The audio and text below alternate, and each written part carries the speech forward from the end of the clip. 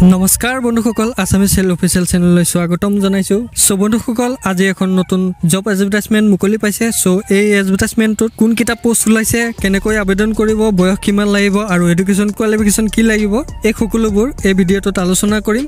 চ' বন্ধুসকল স্কিপ নকৰাকৈ ভিডিঅ'টো সম্পূৰ্ণ চাব। চ' আহক ভিডিঅ'টো আৰম্ভ কৰোঁ।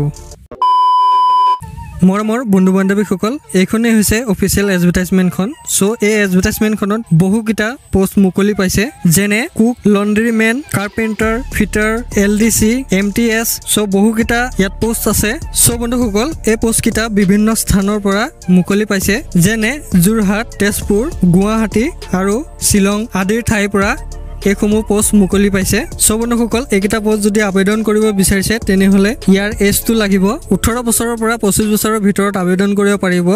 যদি আপুনি অ' বি চি হয় তেনেহ'লে তিনি বছৰ অতিৰিক্ত পাব আৰু এছ চি এছ টি যদি হয় পাঁচ বছৰ অতিৰিক্ত পাব।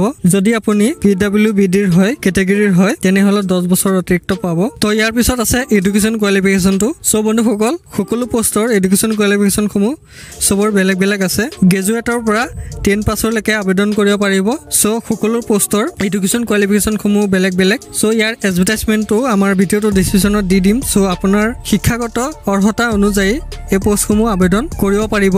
চ' এই চাৰ্টসমূহত আপোনালোকে দেখিব পাৰিছে সকলোখিনি পষ্টৰ নাম আৰু ইয়াৰ এডুকেশ্যন কোৱালিফিকেশ্যনটো দিয়া আছে আৰু চেলাৰী যিটো পে' আছে পে' কোনটো লেভেলৰ পাব? Level one level two level three দিয়া আছে। চ' আপোনাৰ নিজৰ অৰ্হতা অনুযায়ী এই এডভাৰটাইজমেণ্টখন চাই আবেদন কৰিব পাৰিব।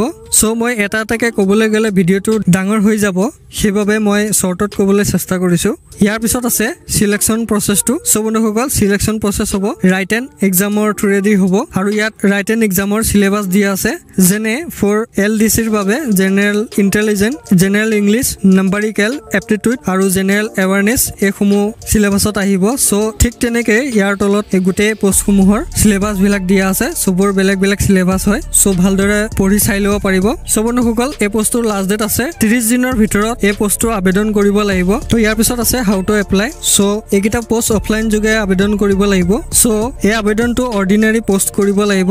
স্পীড পষ্ট ৰেজিষ্টাৰ পষ্ট আৰু কুৰিয়াৰ যোগে একচেপ্ট কৰা নহ'ব। চ' অৰ্ডিনাৰী যোগে আপুনি পষ্ট কৰিব লাগিব। আৰু লগত ইয়াত সকলোবোৰ ডকুমেণ্টছ যেনে education qualification as technical qualification physical experience certificate আৰু কাষ্ট চাৰ্টিফিকেট এইসমূহ ডকুমেণ্টছ লগত গাঁঠি দিব লাগিব। লগত দহ টকা ষ্টাম্প লগাব লাগিব আৰু ইনভেলেপত application for the post of যোনটো পষ্টৰ আবেদন কৰিব সেইটো লিখিব আৰু N category N category advertise number এই গোটেই লাইনটো ইনভেলপত লিখি অফলাইন যোগে আবেদন কৰিব লাগিব অৰ্থাৎ পোষ্ট যোগে আবেদন কৰিব লাগিব। চ' বন্ধুসকল ইয়াৰ পোষ্টেল এড্ৰেছটো যোনটো পোষ্টৰ বাবে আবেদন কৰিব চ' সেই পোষ্টসমূহৰ ইয়াতে এড্ৰেছ ইয়াত দিয়া আছে। চ' যেনে এইকণত এড্ৰেছটো দিয়া আছে যোৰহাটত যদি কৰিব বিচাৰিছে তেনেহ'লে এই এড্ৰেছটো এইসমূহ এড্ৰেছ ইয়াত এনেকৈ দিয়া আছে। এইখিনি পোষ্টেল এড্ৰেছ হয়। চ' যোনটো এড্ৰেছত যিটো পোষ্টৰ বাবে আপুনি আবেদন কৰিছে চ' সেই পোষ্টটোৰ অফিচিয়েল এড্ৰেছত দিব লাগিব। ত' ইয়াৰ পিছত আছে ইয়াৰ ফৰ্মখন চ' ইয়াৰ ফৰ্মখন ইয়াত দিয়া আছে। এই ফৰ্মখন প্ৰিণ্ট আউট উলিয়াই ফৰ্ম ফিল আপ কৰি পোষ্ট যোগে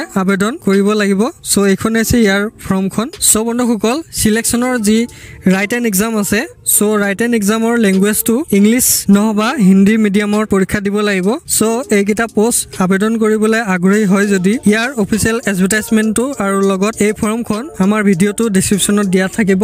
চ' তাৰ পৰা ডাউনলোড কৰি প্ৰিণ্ট আউট উলিয়াই ফৰ্ম ফিল আপ কৰি সকলো ডকুমেণ্টছ গাঁঠি দিব আৰু লগত ফটো দুখন গাঁঠি দি পোষ্টেল যোগে আবেদন কৰি দিব। চ' বন্ধুসকল এইখন এডভাৰটাইজমেণ্ট ক'ৰ পৰা ওলাইছে? চ' এই এডভাৰটাইজমেণ্টখন ইণ্ডিয়ান এয়াৰ ফ'ৰ্চ তৰফৰ পৰা ওলাইছে। অৰ্থাৎ এই জবকেইটা ভাৰতীয় বায়ু সৈন্য তৰফৰ পৰা ওলাইছে। অৰ্থাৎ এই এডভাৰটাইজমেণ্টৰ যিমানখিনি পষ্ট আছে এই সকলোবোৰ চেণ্ট্ৰেল গভৰ্ণমেণ্টৰ আণ্ডাৰত হয়। চ' ইণ্টাৰেষ্টেড আৰু কোৱালিফিকেশ্যনৰ অনুযায়ী যদি হয় মিছ নকৰিব নিশ্চয় আবেদন কৰিব। ভিডিঅ'টো চাই ভাল লাগিলে লাইক এটা কৰি দিব আৰু বন্ধুসকললৈ শ্বেয়াৰ কৰি দিব। আৰু যদি কিবা কনফিউজ বা সুধিবলগীয়া থাকিলে আমাৰ চেনেলত গৈ কমেণ্ট কৰিব। চ' মই চেষ্টা কৰিম ৰিপ্লাই দিবলৈ। চ' পুনৰ এবাৰ লগ পোৱা আশাতে আজিলৈ ইমানতে সামৰিছোঁ। ধন্যবাদ।